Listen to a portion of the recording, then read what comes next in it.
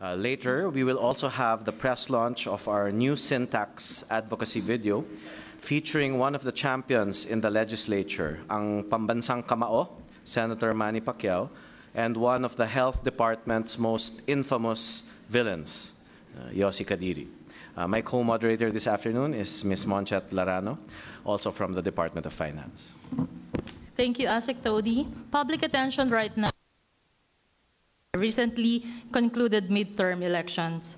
With the 17th Congress resuming in a few days for its final session, we believe this is also a good time to shift our focus towards an important legislative measure, one that underscores the Duterte administration's commitment of ensuring sufficient and sustained funding for universal health care program. We are fortunate to have with us today our honorable secretaries, Health Secretary Francisco Duque III and Finance as panel members for this press conference. To provide context on the funding government in implementing the universal health care, we would like to call our Secretary of Health, Dr. Francisco T. Duque, to deliver his opening statement.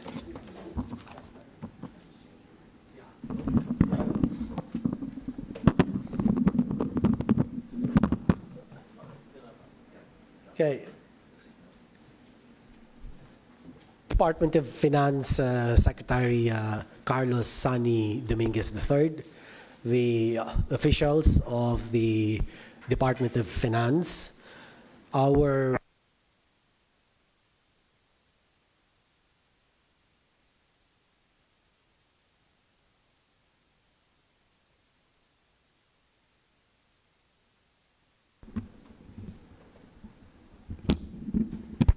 Okay. Our friends from uh, media, I'd like to uh, greet all of you in behalf of the Department of Health. Uh, most pleasant uh, afternoon. And uh, we uh, are here in, in today's joint press conference. In 2040, we envision the Philippines to be among the healthiest in Asia. This will only be possible if one, we keep all Filipinos healthy and obviously, and two, we provide quality and affordable health care to those who get sick.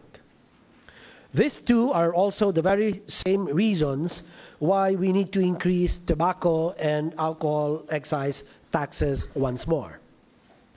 Sin tax is first and foremost a health measure. This is not rocket science. When the prices of cigarettes and alcohol are higher, it is harder, especially for the youth, to buy these very harmful making these same products less affordable to consumers. Our first attempt was indeed effective. There was a significant reduction in smoking prevalence after the sin tax law of 2012 was first implemented. However, prevalence has already plateaued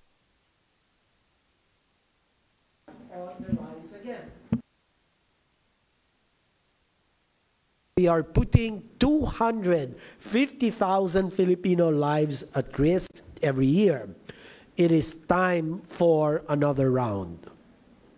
Fortunately for us too, the revenues gathered from sin taxes provide the much needed financing to realize our much needed health reforms. More people, especially the poor, are now covered by our program. It also enabled us to scale up our non-communicable disease prevention services, among others. Have also been used to assist our tobacco farmers. The recent signing of the Universal Healthcare Law the blueprint for reforming the health system is now very much in place. Accounting for our priorities and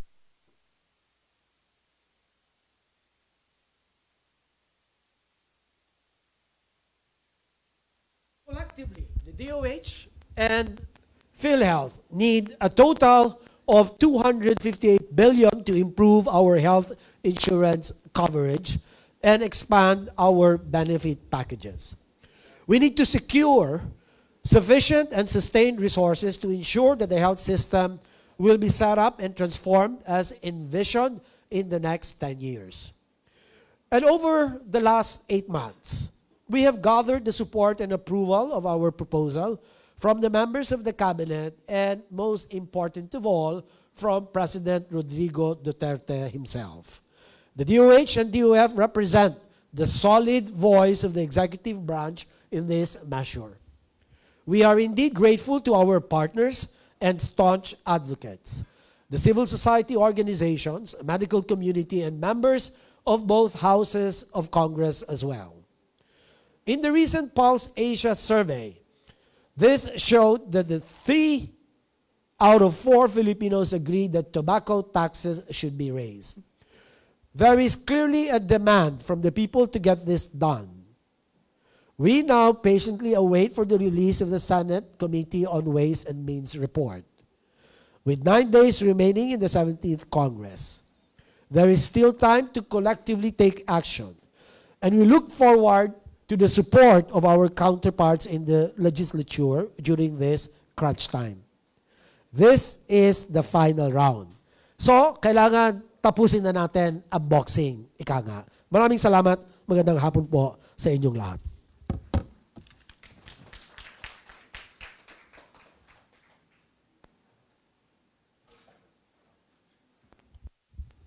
Thank you, Secretary Duque. And now, we uh, invite Secretary Carlos Dominguez for his opening statement.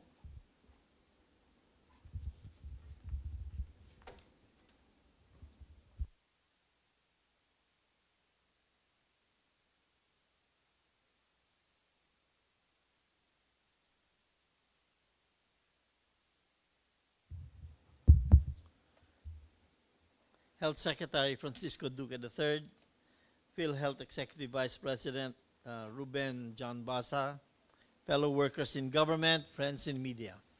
The Duterte administration is committed to making quality health care accessible to all Filipinos, as the President promised in his 0 to 10 point socioeconomic agenda in 2016 now that the president has signed the universal health care into law, we need to make sure that this unprecedented investment in Filipino people's health is funded sustainably. The Universal Health Care Program will provide coverage to all law-abiding Filipinos, reducing vulnerability lowering out-of-pocket expenses and improving the quality of life. The passage of a higher of higher excise taxes on tobacco and alcohol products will provide the government with the means to curb vices and undesirable behavior while at the same time generate the revenues to fully fund univer the universal health care program. We have done the math we can do both. Sin taxes are not whimsical impositions by greedy governments. Such taxes are carefully calibrated according to the social costs incurred by the consumption of certain products. In many countries, the total tax on tobacco products accounts for at least 70 to 75% of retail prices. If we get the rates correct, taxing sin products works. The 2012 sin tax law succeeded in reducing smoking prevalence from 29% in 2012 to 22.7% in 2015. However, recent polling shows that smoking prevalence has again begun to increase reaching 23% in 2018. This is a warning sign.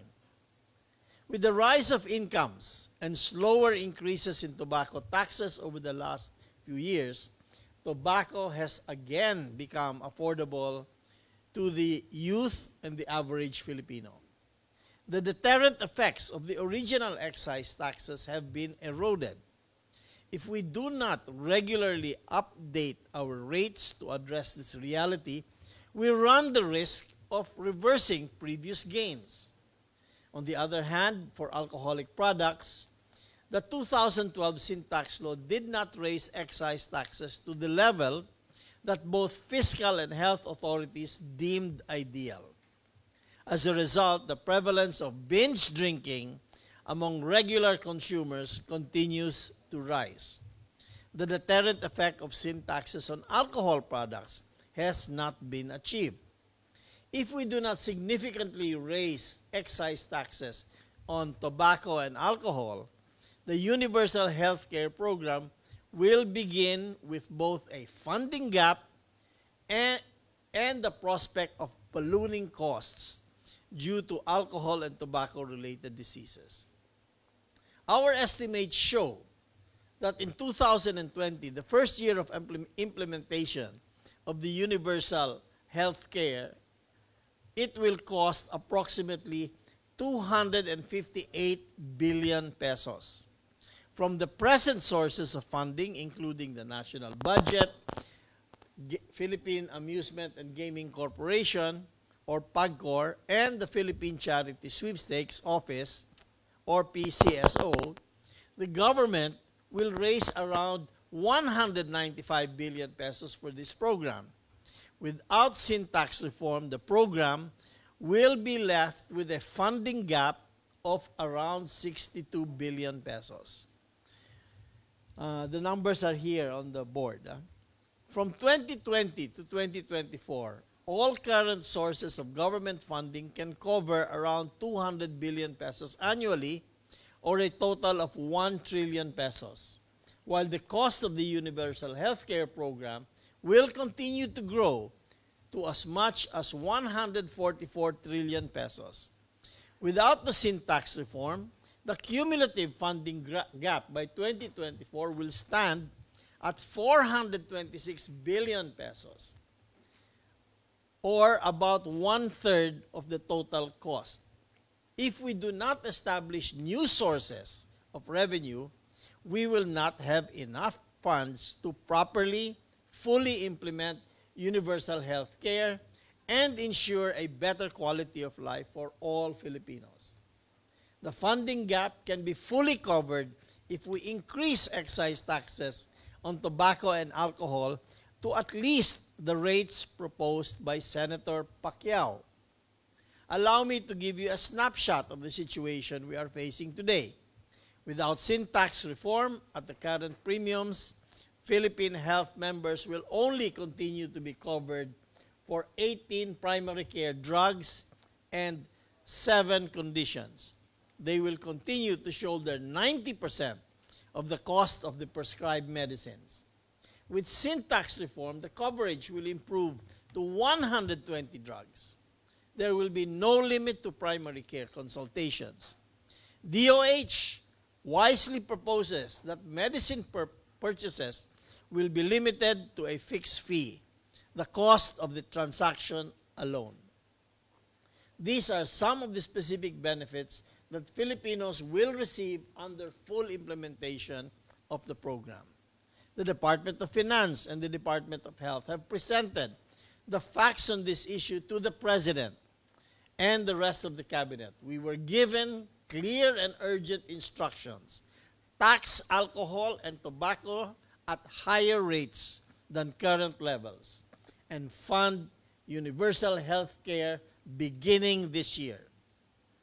In last year's State of the Nation address, President Duterte urged Congress to act on both reforms in alcohol and tobacco taxes as well as health care it has always been the President's goal to ensure every Filipino family receives appropriate, affordable, and quality health services.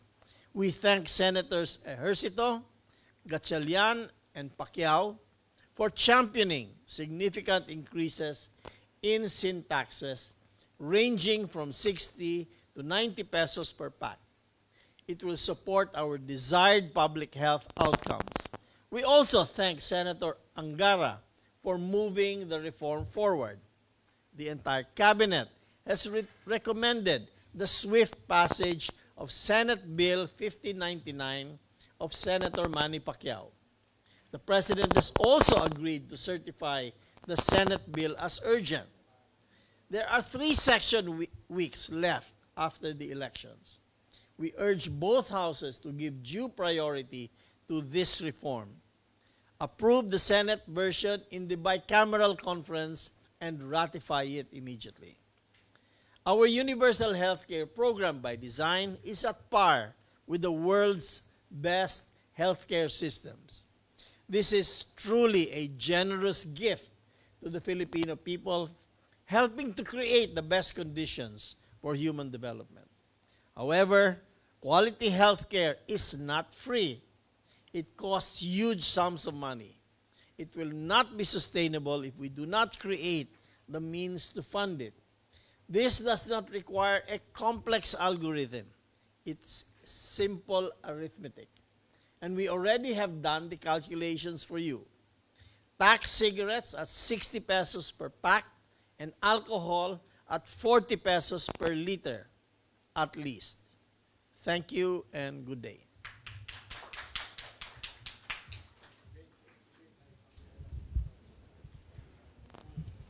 Thank you very much, Secretary Dominguez.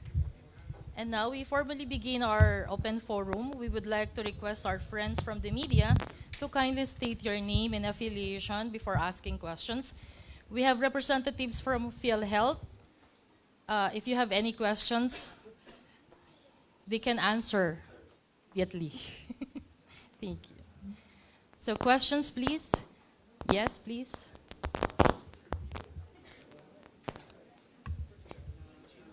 Chino Leyco. Hi, good afternoon. Chino Leyco, Manila Bulletin. Okay. Question is, uh, are you confident that uh, the House and the Senate will uh, pass this bill less than uh, within the three sessions, uh, three week sessions of the Well, uh, it's very difficult to second guess uh, what's in the mind of uh, our uh, legislators. But we hope and pray that they see the light uh, of uh, day and and really support the president's legacy for the Filipino people. And one of his legacies is really to not just to pass the UHC uh, bill now signed into law, of course, but to implement this. And implementing this must necessarily uh, address the funding gaps. No? So I suppose that uh, well-meaning senators and uh, representatives uh, do share this uh, sense of legacy with the president, and it's for our people. It's it's been a long time since we have really aspired for this as uh, uh, way back in 1978, the Alma Ata Declaration, uh, which went kaput.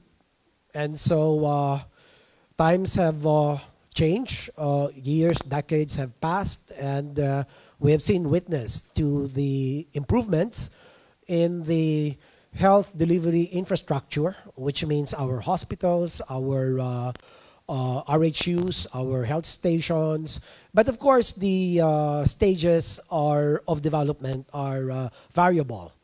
And uh, one major building block, I believe, that has uh, contributed to the realization uh, of the law is the universal health insurance coverage of 1995.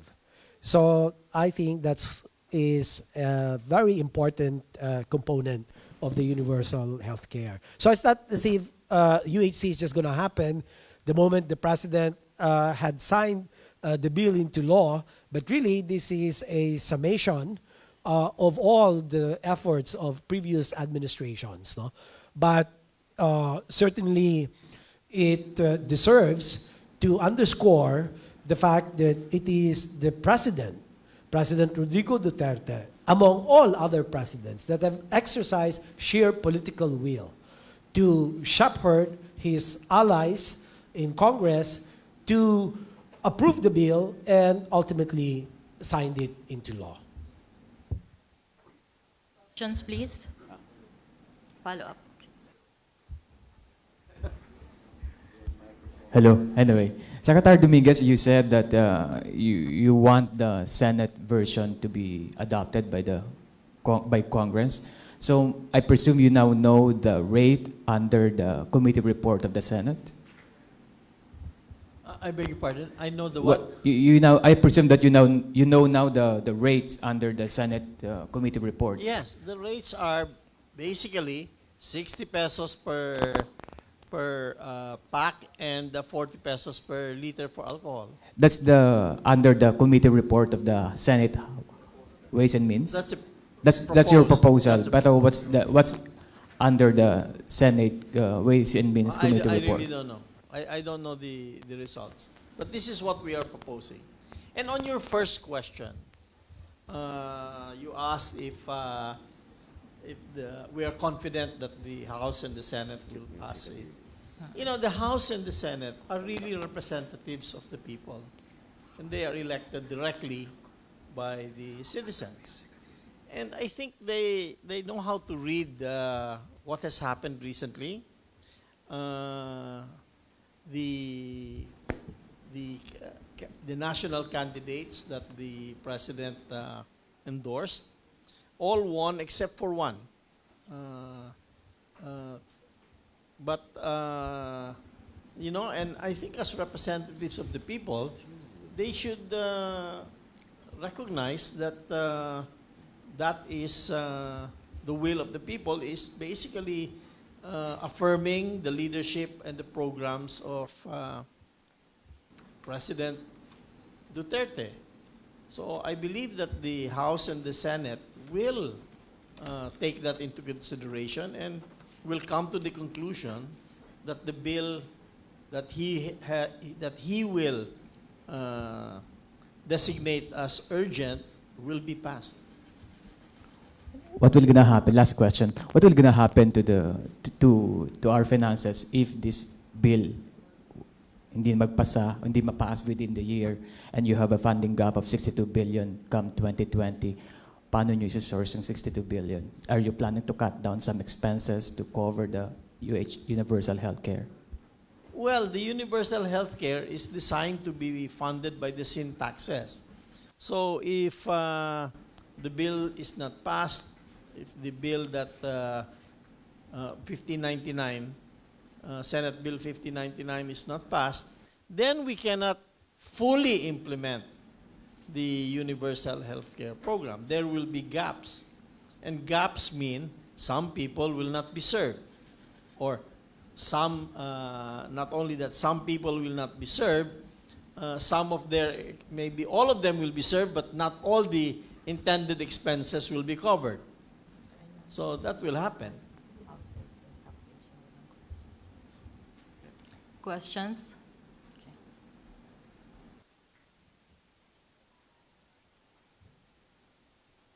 Check. Uh, Good afternoon. Uh, I'm Mikael Flores of Nikkei Asian Review. Uh, Secretary Duque, how much do you project smoking incidents to increase if for every year that uh, sin tax law is not passed? Because you've mentioned that that the reduction has already plateaued. And second, um, we, you mentioned there's a Secretary Dominguez mentioned that there's a 62 billion shortfall. So, uh, in the what what's the contingency measure? Which aspect or which pillar of the UHC will have to be sacrificed? Um, especially in the aspect I think of primary care because that's that's where the weakness of the Philippine health system is. Okay, two questions, right? The first question was how by how much will the, prevalence increase? It's already showed that it increased from 22.5 to percent to uh, 23 percent, and that's in a very short period of time. Okay, uh, so you just figure out that maybe it will increase by a factor of one half of one percent or one three fourths of one percent every year. So it will take no time to get back up to 29 percent. Now the second uh, e- uh, point you made is uh, what will not be served. I said either of two things. Okay, either not enough people will be served, right, or all people will be served, but not all the requirements. Di ba? Ganun yun. Okay, uh, for the DOH part, uh, what we'll give, obviously, will be the, uh, what will be sacrificed, rather, would be the provision of primary care uh, to our people. And uh, you see, the contemplation under the universal health care law is to shift focus from a highly hospital oriented specialty care uh, centric uh, type of uh, service, uh, we would like to move it down to the lower level uh, delivery units, which are expected to provide primary care. Perhaps uh, for the better understanding of uh, the media, primary care is uh, uh, a very important component of UHC because it is what takes care of the services uh, that will allow for health promotion uh, so that people will be more health literate. They'll understand what it means to have a healthy lifestyle. Uh, the preventive care services are uh, part and parcel of uh, primary care. In the continuum of care, you begin with the health promotion, disease prevention, or wellness preservation, to treatment, cure, rehabilitation, and palliation. So the universal healthcare law contemplates that the services are provided along this uh, what I would term as the service delivery networks. Okay, so uh, the focus of the universal healthcare now, or the priority, is to establish more delivery units within the public sector uh, healthcare provider network. Ang problema po sa atin sa Pilipinas, ang kahinaan ng ating serbisyong pangkalusugan ay tukoy o kinikilala natin ang lower level, the downstream uh, service delivery capacity is anemic. Okay? And one of two things may happen here.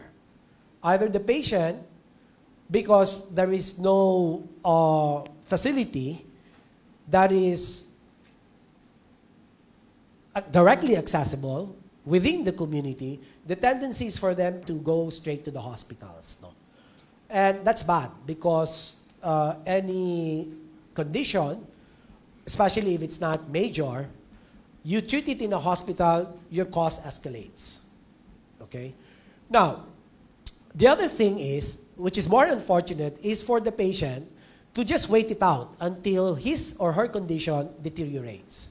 And by the time it deteriorates and he is transported to the nearest hospital, along the way, the patient either dies or dies on arrival in the emergency room. So these are really compelling reasons uh, that have inspired our leaders and our president to really pass this law. And so, uh, if we don't have enough funding to support this, to sustain this, then again, it will frustrate our people because they've been expecting that the lower, the downstream uh, level uh, facilities won't be there because the costings that have been made by the Department of Finance and DOH clearly uh, illustrates the funding requirement for the full development of our primary care uh, facilities. Okay, that's possibly close to about 60, 40, 50, 60 billion. No? Uh, and part of the rates, the premium rates uh, under the PhilHealth will be used precisely to fund the primary care benefit package. Now, status quo tayo, kung hindi tayo magtataas ng buwis, eh, it's more of the same. So we need to do a lot more capacity building uh, in the primary care facilities. And you know, in uh, the Philippines, out of the 42,000 barangays, for example, we only have less than half that has uh, health stations.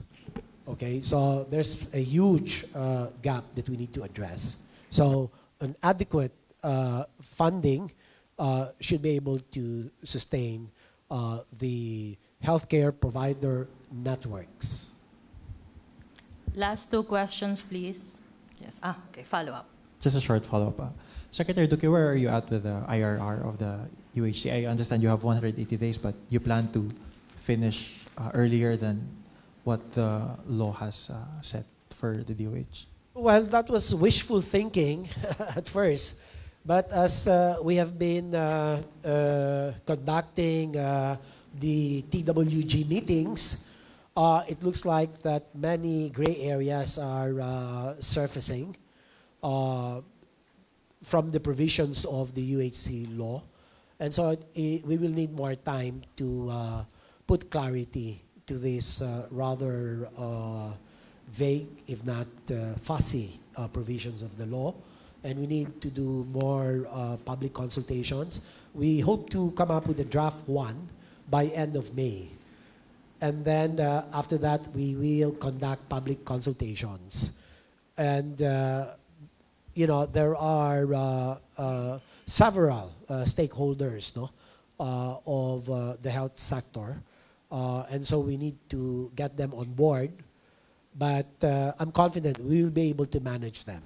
And uh, hopefully, in accordance with the law, we should be able to come up with the IRR by September. Sir, could you cite uh, which, uh, which, of, which provisions of the law did you find some gray areas or some fuzzy? Um, You know, I don't want to take that up here because that's rather granular. Uh, but let me just give you an example. It's really the human resource uh, that we might need to move from the municipal, uh, local government units uh, of, of their health programs uh, to the uh, provincial local government units. And the integration contemplated under the UHC law will be a health system, local health system that's going to be uh, operated and controlled by the provincial leadership. So, ang tanong, paano yung mga empleyado, health workers, doon sa municipal LGUs, what will happen to them? Should we move them up uh, to the provincial local government units? It's one of those uh, a bit uh, difficult issues that we have uh, discovered. Um, hi, sir. I'm Claire Jiao from Bloomberg. Um, some companies have already talked about their plans to bring in new tobacco products like heat not burn tobacco within the year in the Philippines. Um, it's not included in the current sin tax framework. Is this something the DOF and the DOH are already talking about and how you could possibly tax it in the future? And what kind of provisions are you looking at and how this could be taxed? Uh, yes. Uh, in fact, uh, yesterday I got a letter from uh, one of the companies saying that they are already going to be introducing a, a product here, and uh, we are in conversation with the uh, DOH on how to uh, how to handle this. I mean, there's several ways to handle it, and uh, uh, we're still at, uh, trying to figure out exactly what would be the most appropriate way. Uh, as you know, there are several kinds of uh, tobacco products, right? One is you heat it, right, but don't burn, di? Another one is you uh, you dis you have a you vape it, right? So uh, here we're trying to see, you know, first of all, where the technology is, where it's going, and uh, how to address it. But definitely, uh, I think there will be regulation uh, and taxation involved. Uh, I understand that in other countries they have introduced products that taste like mango or taste like candy, and uh, I think uh, that's something we have to address because that that's apparently designed to entice young people to to start the nicotine habit, right? So we are we are in discussions on this. Well, uh, just just to respond to that question, no, the uh, FDA has been tasked to uh, come up with the administrative order uh, for the uh, electronic uh, nicotine delivery system, and equally for the uh, electronic electronic non-nicotine delivery system. So. Uh, there was an attempt. Well, actually, there was an AO that was issued in 2014. But once we uh, undertook a review of this, uh, it looks like it's no longer, uh, uh, it's not, it's been overtaken by events. And, you know, the vaping, the uh, electronic, other electronic uh, delivery systems for both nicotine and non-nicotine products, uh, the 2014 AO cannot address all of these new uh, techno- technological developments. No? So we are reviewing it, and uh, in no time we will come up with uh, the draft IRR, and uh, after that, hopefully, get to approve it. Uh, probably in about uh, three to six months' time. So just to clarify, will companies have to wait for the draft IRR before getting approval to import these new tobacco products? I, well, I think uh, the DOF might be in a better position to uh, answer that. You know, at the moment there are very few regulations uh, regulating the importation of these products. So we are going to review it to see if, uh, in fact, uh, uh, they are enough to keep them out or to start regulating them. That's why uh, the DOF and and uh, the Department of Health really have to study this because there's a lot of science we have to understand. There's a lot of uh, different technologies, and that technology is evolving, as you said, very quickly. In a period of five years, it's it's changed entirely. Used to come, di ba, the vaping used to come with a big, uh, uh, like a big pot. Ngayon, di na, di ba? It's, it's uh, just like a, a stick of cigarette, so. Or ICOS, yeah. The heating. So there. Okay, last question, Ben. Ayog, ayun, sorry. Sir, uh, for Secretary Duque, I'm curious if uh, there had been any studies already on the use of vape or the electronic cigarettes. Or do they have the same impact on uh, uh, health, for example? You know, there's a dearth of data with regard to that. eh. That's why we need more studies, more research, and uh, our uh, Disease Prevention and Control Bureau of the DOH has been quite aggressive in uh, getting all the data uh, internationally, globally, and, and we have to learn from, from this. As we frame the regulatory, uh, the, as we uh, review and eventually issue the admin order uh, for this particular product, this will uh, have the benefit of uh, inputs from uh, international as well as local studies. thank you, sir. And Secretary Dominguez, the bills passed in the lower house were uh, have lower rates than what the DOF had wanted. In case they, uh, uh, would, uh, would you be amenable to the, those uh, lower rates, for example, in the, for the tobacco and alcohol? Uh, we can show this in the board. Uh, it, uh, can you flash? Uh, the, the bills uh, passed in the lower house will hardly make a dent on the on the funding gap. Is it? Is that? Yes. Here. So this is the lower house approved bill. So the funding gap is still quite high. ah. You know, it's uh, 53 billion on the first, 56, 64, 71, and 80. Know, that's hardly a dent. So we really need, as we said earlier, uh, we really need the, the, the 1599. Do you think the Senate can convince their lower house counterparts to uh, adjust it upward? As I said, they are representatives of the people. And I've see, I think they are very keen on seeing the results of the people, people's will. And in two, and uh, a few days ago, the people spoke freely and very, uh, how would you say, very definitely that they support the president's candidates, they affirm his leadership, and they support his programs. And this is his program. Sir, but in the worst case that uh, they can no longer pass it given the very tight uh, schedule, is there a plan B like how soon or do they have already sponsors for the 18th Congress in case uh, they can pass it in the 17th Congress? We don't have a plan B. All right. This is the only plan. Yes. And it is ready to be passed. Thank you, sir. Thank you very much for your questions. We now proceed to the second part of this event, which is the formal launch of the Manny Pacquiao versus uh, Yosi Kadiri ad. Uh, this is for the Gen Xers and the Titos and Titas of Manila. Uh, I know you remember this ad very well, or this ad campaign. Uh, proving once again that he is a champion both in the boxing ring and in the legislature, Senator Pacquiao agreed to take on an old enemy of public health, now re- revived uh, for this campaign. A 30 second championship match.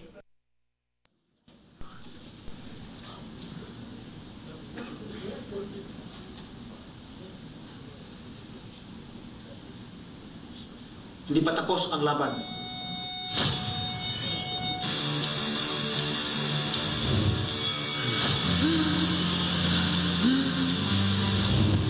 Para to sa mga bataang nalulong sa bisyo.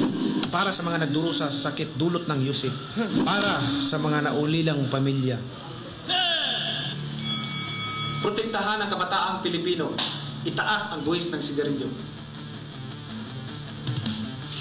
And that's online through the DOH and the DOF uh, Facebook pages and other social media sites. But we uh, thought that uh, uh, since he has been able to recover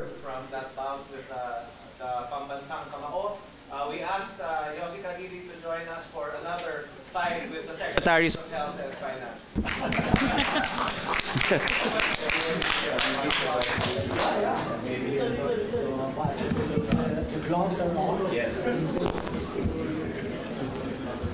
And for this fight, the gloves are off.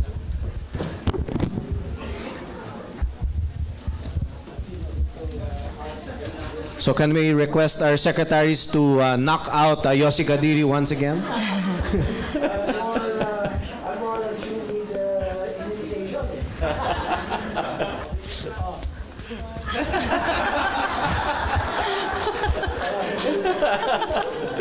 Can we please request uh, John Ruben Basa to join the secretaries as well as uh, Narisa Santiago?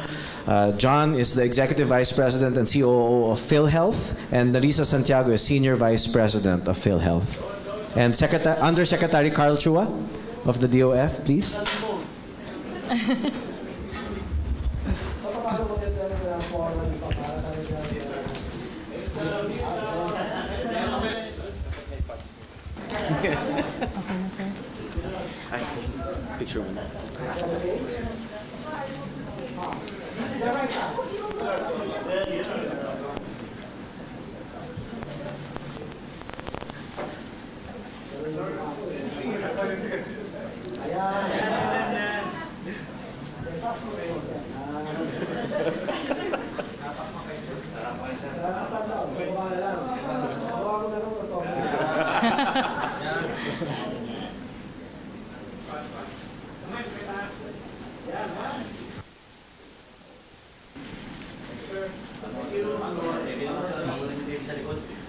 Okay, that, that, that concludes our event this afternoon. On behalf of the Department of Health and the Department of Finance, we wish to thank our resource persons and guests. We hope that with the help of the public, we will be able to impress on our colleagues in Congress the need to prioritize the enactment of Senate Bill number 1599 filed by Senator Pacquiao. Thank you, and again, good afternoon. Thank you. Who's uh, Uh, Uh, for those who would like to punch Yosi.